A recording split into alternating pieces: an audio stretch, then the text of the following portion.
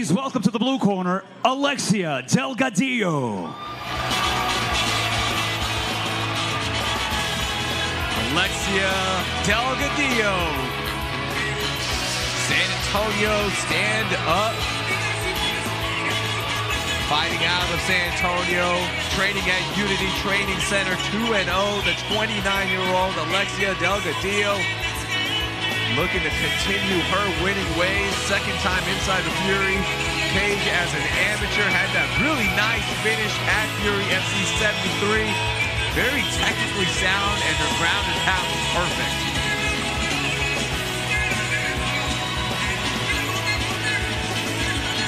Yeah, we heard from the matchmakers that they were really excited about this matchup. Really exciting matchup.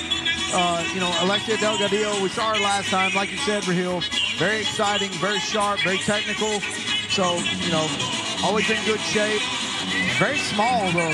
Very, Yeah. very small. You wouldn't believe how small she is from here. I mean, she, I don't know what she lifts herself at, but I mean, she's got to be five foot tall. 5-2. Here's Wayne. That's her opponent. Please welcome to the red corner, Alexandra Carlson. Alexandra Carlson, 2-1 record, third time fighting for us as an amateur here at Fury FC. Coming off that loss to Mia Gra at Challenger Series in October. A quick finish in round two, but she is tough. Very similar to Alexia, by the way. Like when I went back and watched both fighters, they remind me of each other. So it's going to be a good matchup. The clinch and grapple heavy. Yeah.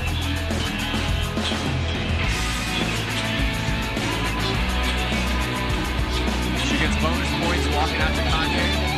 Yeah, Alexandra had a tough draw in, in fighting Mia. I mean, you can tell they both had a big gap in experience, and Mia's style's tough for any girl.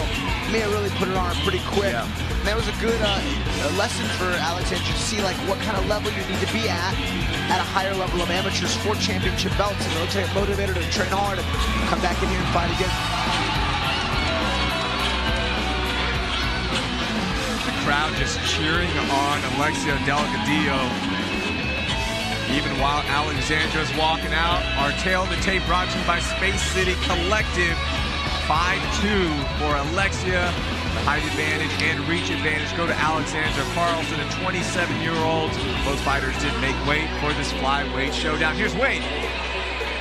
Ladies and gentlemen, the following contest brought to you by Space City Collective is scheduled for three rounds in the Fury Amateur Series Flyweight Division. Introducing to you first, fighting out of the blue corner. This freestyle fighter stands 5 feet 2 inches tall, and she weighed in at 124.6 pounds. Fighting out of San Antonio, Texas, she's undefeated as an amateur with a record of two wins, no losses. This is La Patrona, Alexia Delgadillo. And introducing her opponent across the cage, fighting out of the red corner. This mixed martial artist is 5 feet 5 inches tall, and she weighed in at 122.6 pounds. Fighting out of San Antonio, Texas, by way of La Crosse, Wisconsin, she holds an amateur record of two wins, only one defeat. This is Alexandra Carlson. Your referee in charge, Joel Ojeda. The bearded ref, Joel Ojeda, gets the assignment. First women's fight of the night. Also, first Wisconsin fighter for Fury. And immediately, Delgadillo on the attack. Yeah, I'm going to challenge Delgadillo on that five foot two. I think she's five foot. Yeah, she was able to just kind of pressure forward while Alexandra was throwing a kick. Knocked her off balance, scored her early takedown. They're fresh, they're dry. Yeah, Delgadillo is a savage too. I mean, she immediately pounced on her, kind of moving aggressively moving forward, got her up against the cage, got her down to the mat, and now here we are putting constant pressure, that shoulder pressure to the face. Trying to sneak that right leg. So technical. She's almost like San Antonio Mia Gra. She get that right knee out. Hey, nice Mm. little sweep there from Alexandra. Carlson's got to be careful here from this position. Although the legs are very short of of uh, Alexia Delgadillo. You don't want to get caught with one of those up kicks. Now on the half guard here on the top. Good switch of momentum from Carlson.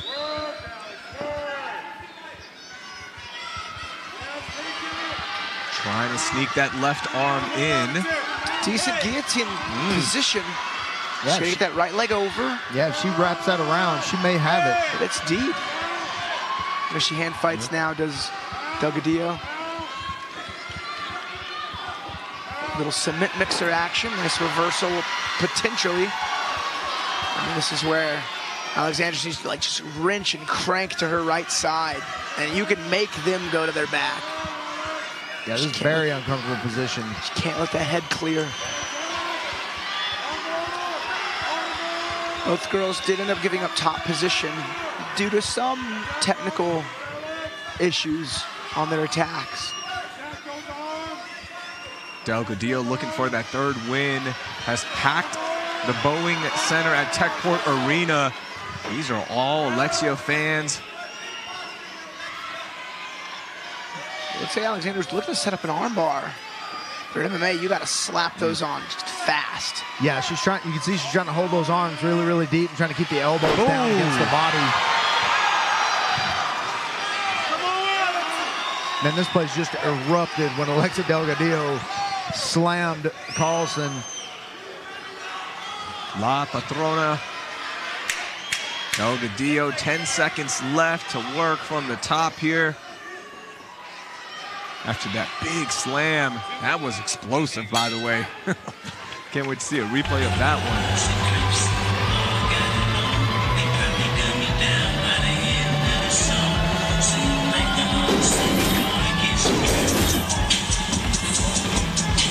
From the jump, Delgadillo was on the attack.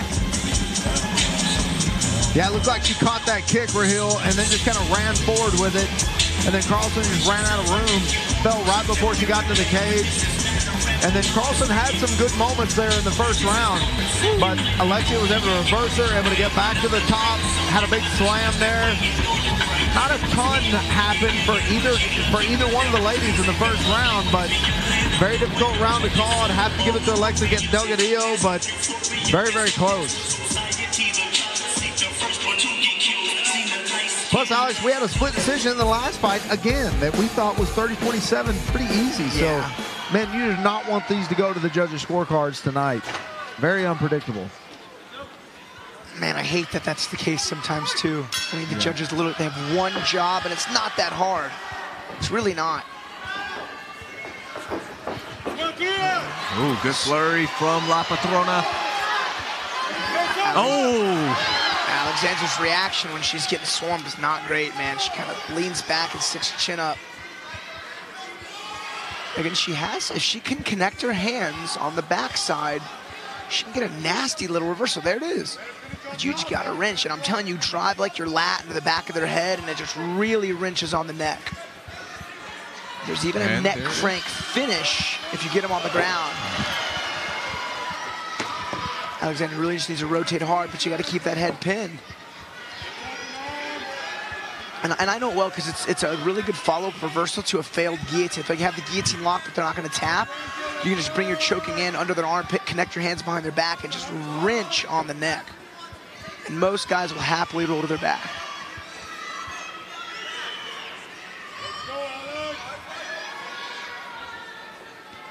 Delgadillo here on top, but not really able to do much. Carlson kind of holding those arms in tight.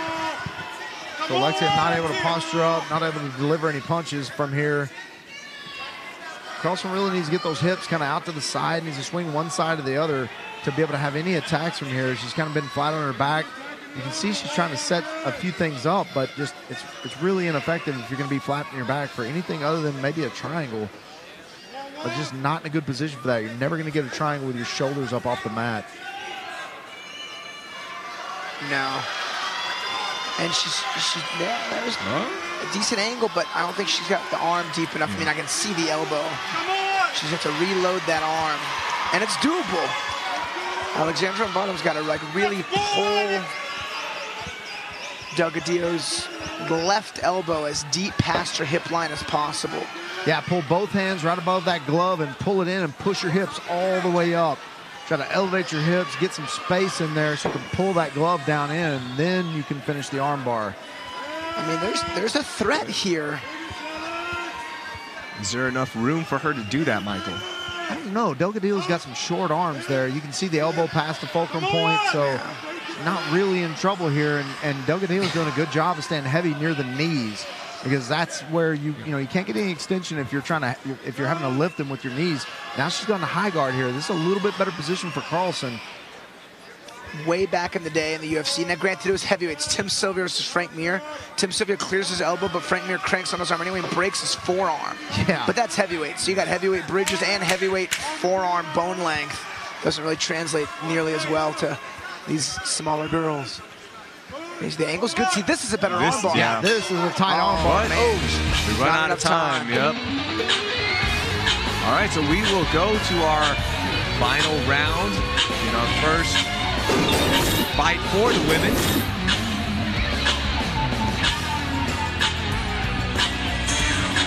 Man, Delgadillo had the look of a savage there on her face. She wanted to finish this fight in the second round, but Carlson very, very tough. Got dunked here, was on the bottom for a lot of this round, Alex, but was able to throw up a few submission attempts, some some good, not, some not so good, but showing that she can be dangerous in that bottom position. We still have our amateur bantamweight title in our women's division coming up. Olivia Beerley taking on Alexis Apodaca.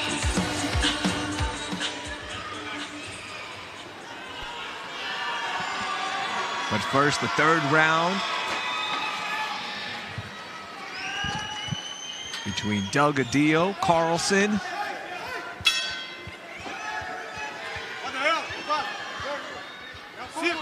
If Delgadillo can keep this standing, unleash her striking package.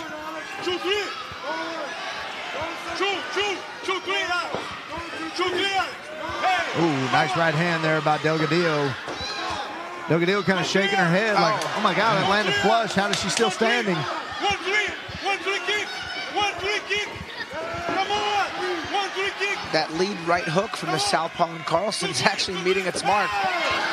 Instead of the high kick in the back fist, but oh, oh, look out. man. Come on, Alexis. Let's see what Carlson's got from the top position here. She hasn't been in this good. This is the best position she's been in this entire fight.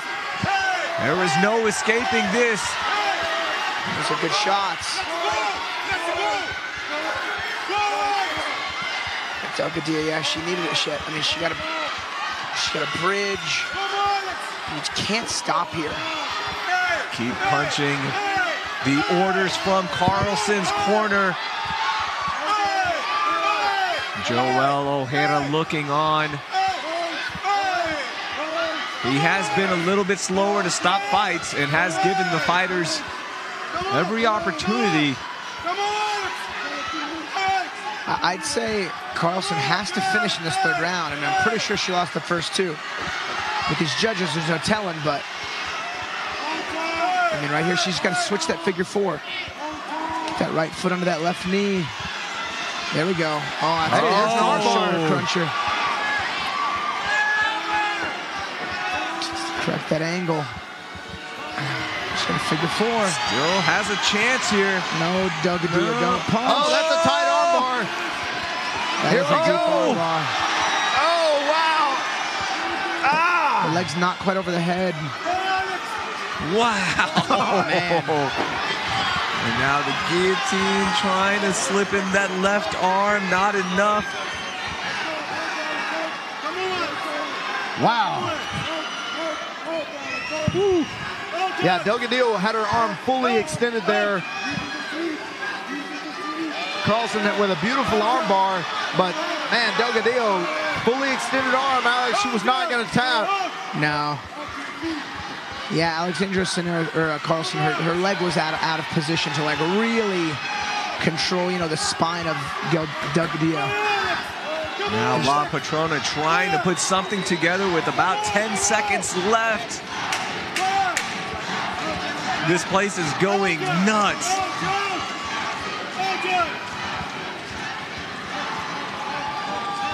All right, we are going to go to the judges' scorecards once again. What a fantastic third round. Look at our highlights for round three. Watch the right hook here of uh, Carlson. Hey, I'm Dave Lands here in just a second. It was a good one, too. Not that one. There was a clean on the chin before they started grappling. She gets the mount, hits a good ground and a good armbar chain. Leg was over. Watch that gonna be cleared in a second.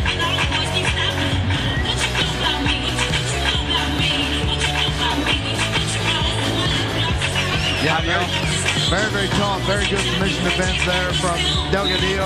Very good awareness that you know her arm was not in a position to break. So she she knew she, that if she tapped, it might have hurt a little bit, but comes back out of that. I think she probably won this fight. But man, what an entertaining fight! What an entertaining third round. Who y'all have winning right now? I think it's Delgadillo, but I'm not. I'm not saying. I'm not making any predictions with these judges. We've already had some questionable scorecards tonight Yeah. here in San Antonio. How the judges scored this one, and I think we're in for a surprise based on the reaction I just saw. But here we go. Ladies and gentlemen, after three rounds of combat, we go to the judges' scorecards for a decision brought to you by HKA USA. Judge Ruben Carrion scores the fight 30 27 Carlson. Judge Gino Garcia scores the fight 29 28 Delgadillo. And Judge Ray Campos scores the fight 29 28, declaring your winner by split decision, Alexandra Carlson. I mean, Um, 30 27 on won- one scorecard, She won round three, did Carlson. Yeah. But she lost that first round. These, man, I think I think Carlson was even surprised that she was announced as the winner. I don't know, man. now, to be fair, Carlson had the armbar in round two, which was like almost to finish, kind of. So yeah, I can see that scoring, but, but man, All right, we'll talk about that in a second, but let's meet our next